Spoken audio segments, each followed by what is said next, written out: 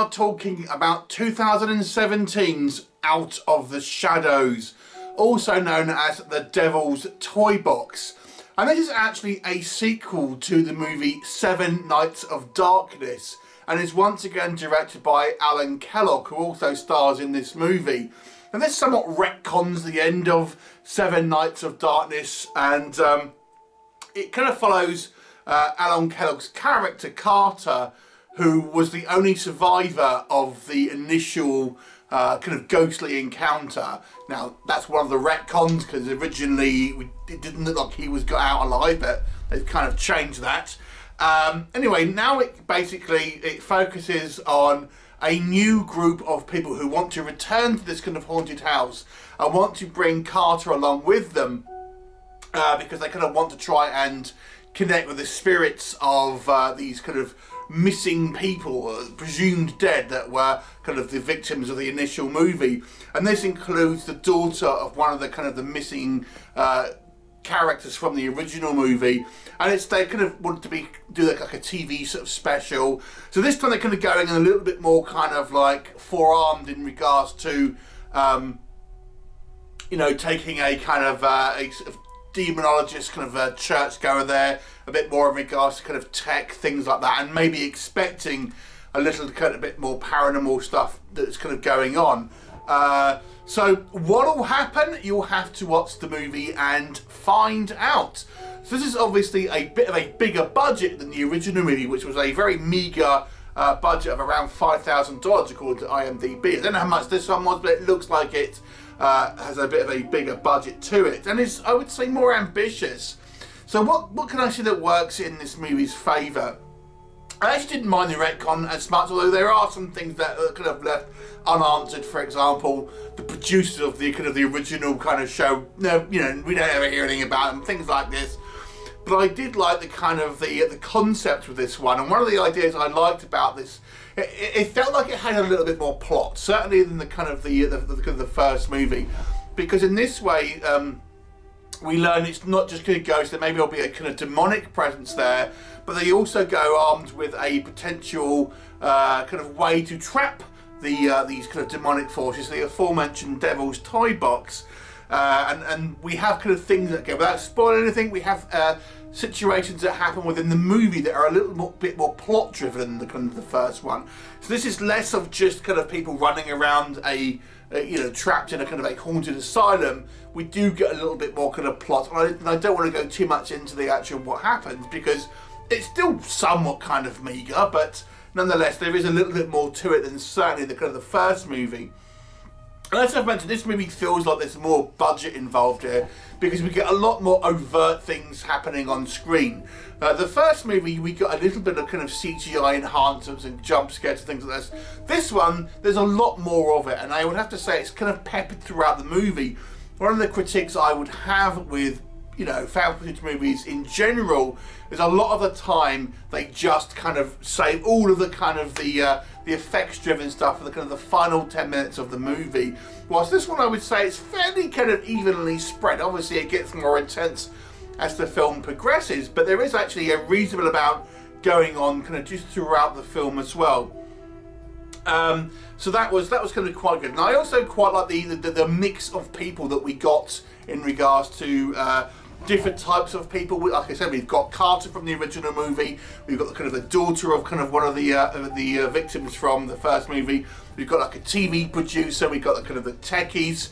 We've got the kind of like the um, the diva kind of style kind of uh, face of the show. Um, we've got the, de the demonologist guy. So it's a, a, kind of a good mix of people within this kind of uh, uh, group to kind of make it a, a, kind of somewhat of a fun dynamic. There is also less arguing in this movie. One of the critiques I had of the first film is it was seemed to be constantly people arguing. Now there is a little bit of that. I'm not going to lie. There is certain scenes where they do argue, but it's not enough for me to kind of derail the plot. In actual fact, there's certain scenes here I felt like we we got more of a feeling of a team effort than the kind of the first one. Uh, so that was kind of quite good. And the movie, I think, is more ambitious than the first one uh, because it introduces kind of more themes. It certainly has more overt kind of horror go kind of going on. It's not a gory film, but there's plenty of kind of jump scares and kind of scary imagery and stuff like that. what doesn't work. Um, even though there's, there is that kind of uh, less arguing, there is still a reasonable amount in this movie, albeit obviously certainly not as much as the first one. Um, a couple of things I would say there with this movie. I think some of the acting may be weaker. There's certain characters in this movie that really kind of stand out as being somewhat kind of weak in the kind of the acting department. I won't say who necessarily, but there are. Uh, it's a relatively large, probably a larger cast than the other one, but. Um, yeah, there are some kind of uh, some weaker performances here, uh, to be honest. Although I will say Kellogg's performance, I think, is, is improved uh, from the kind of the first movie. But there are a couple, a, a couple of weak links, uh, to be quite honest. The main issue I have with this movie, for me, is that I think it kind of derails somewhat in the kind of the third act. Now, as I've mentioned in the positives, the movie tried to have a little bit more kind of plot, and I appreciated that, and I was actually kind of quite invested in the kind of the first and the second act. I think actually the second act unusually is one of the stronger elements here because normally the, the second act of films I think tends to be the one where it lags but here I actually felt like the plot gained momentum within the kind of the second act. It's actually the third act where I feel it, I feel it just gets way too kind of convoluted and a little bit silly. It just goes a little bit kind of too far with the kind of the craziness. I think there was too many kind of ideas kind of trying to kind of like throw so much at the wall and see kind of what sticks, to, uh, kind of attitudes, to be honest with you. And there are some bits that I, I, I would feel are just just border on just being a little bit too kind of too silly. I do feel as well it, it, it, there are some this being a kind of a sequel. It doesn't kind of quite gel very well, I think, with the first movie. As I've mentioned, they've kind of retcon uh, Carter as the kind of the returning character, but also, as I've mentioned, there's no mention of the people who organised the kind of the first um, expedition and things like that. They're kind of just not ever mentioned. We don't really hear anything about kind of like police kind of searching the property and what would happen there and it's just it's just kind of swept all under the rug to a certain degree. Or I did mention it was a fleeting comment and I could have missed it. Um, there, there are also some continuity um, issues that again didn't make sense to me. In the first movie, spoiler for that movie, we see that there's actually a toy doll that seems to be possessed and kind of moves around. And the actual footage of the first movie exists in this one, so that that was something that people could watch. And that that haunted doll moving around is in that movie. You know, it's in that the footage in regards to the real life you know, people that the footage they would have seen in this. But you would have assumed that the people involved in making this kind of like this follow-on uh, kind of show would have watched it, and then when they encounter the doll, oh look, it's a doll. They, well, didn't you watch the original footage? Because you would have seen that that doll was moving moving around, but they just kind of ignore it and things like that. So there are there are some kind of like issues here that I feel connecting it with the kind of the first movie. They they haven't kind of done a, a good job of kind of lining it up to a certain degree.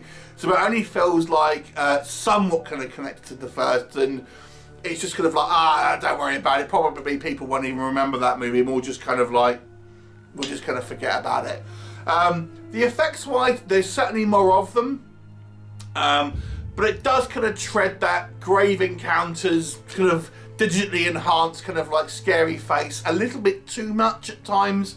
Uh, I would have liked to have seen maybe something else a little bit different uh, rather than the, you know, the kind of the, the, distorted CGI faces that we seem to get a lot of the time. They look okay, but it kind of looks, you know, you've kind of seen it before. Uh, maybe it would have been better to have something a little bit different perhaps, or at least kind of like just change it up to a degree. Um, and the effects still aren't brilliant, uh, even, though, even though I think there's they're more plentiful in this movie, and I think you know you can see that there's some budgetary improvements. It's hard to say whether I think this is a better film in some aspects because at least I think the first movie, although that was kind of a very kind of a cookie cutter movie, the plot was fairly kind of like straightforward and wasn't convoluted. Whilst this one is, although I think there are certainly some technical advancements in, in this movie, and it certainly feels like a uh, a more put together film in some ways. The fact that it, it, kind of derailed so spectacularly in the kind of the third act for me um, really makes me think: is this a better film or isn't it? I will give this a 4 out of 10, which is slightly more than I gave the original film, because I think the ambition here uh, just kind of puts it um, a little bit higher for me, because at least they, I think they tried to kind of have a, uh, a little bit more to it in regards to the story. I don't know if it was also that successful, um, to be honest. But I think the the uh, at least the ambition for me kind of goes somewhere in having a little bit more of a, an interesting kind of story uh, rather than your standard we're trapped in a haunted uh, building for X amount of time. So it's a 4 out of 10 for me. Have you seen either of these kind of movies? Please do leave me a comment. I'll be look, I look forward to hearing your thoughts if you have seen them, and I look forward to seeing you next time. Bye for now.